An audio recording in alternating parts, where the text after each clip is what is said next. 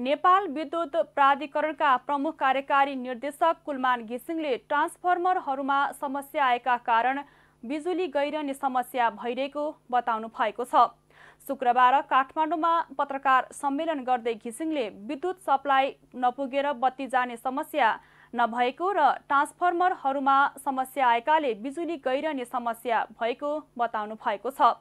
उहाँले पानी परेका बेला ट्रान्सफर्मरमा समस्या देखिएको र अहिले उक्त समस्या समाधान भइसकेको जानकारी दिनुभयो।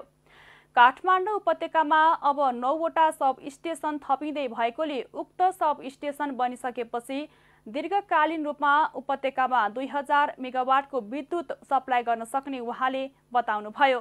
जाडो बढेपछि काठमाडौँ उपत्यकामा विद्युतको बेलुकाको पिक लोड अहिले करिब सत्र सय मेगावाट र बिहानको करिब साढे पन्ध्र सयदेखि सोह्र सय मेगावाट पिक लोड भइरहेको उहाँको भनाइ छ। उहाँले अप्पर तामाकोसी आइसकेपछि बिहान र बेलुकाको पिकलाई सहज भएको बताउनुभयो। विगत तिन चार दिनदेखि वास्तवमा यो पानी पर्नुभन्दा एक दिन दुई दिन अगाडिदेखि र पानी परेको दिन जुन हिसाबले केही ठाउँहरूमा समस्याहरू देखियो। यो समस्या चाहिँ देशभित्र सबैतिर देखिएको समस्या होइन? काठमाडौँ मात्रै हो। यो सप्लाईको कारणले कुनै समस्या होइन। सप्लाई नपुगेको हुनाले हामीले आपूर्ति नभएको पनि होइन। काठमाडौँभित्र सबै ठाउँमा यो समस्या आएको पनि होइन।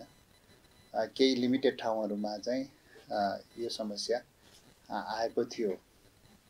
वास्तवमा हामी हाम्रो विद्युतको बेलुकाको पिक लोड चाहिँ अहिले करिब सत्र सय मेगावट र बिहानको करिब साढे पन्ध्र सयदेखि सोह्र सय मेगावट पिक लोड आइरहेछ। त्यसमा हामीले सप्लाई गर्न सकि नै रहेछौँ। त्यसमा कुनै समस्या होइन।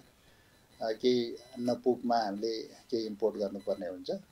उहाँले केही स्थानमा त्यहाँका बासिन्दाहरूले सब स्टेसन बनाउन नदिएकोले पनि समस्या आउने गरेको बताउनुभयो।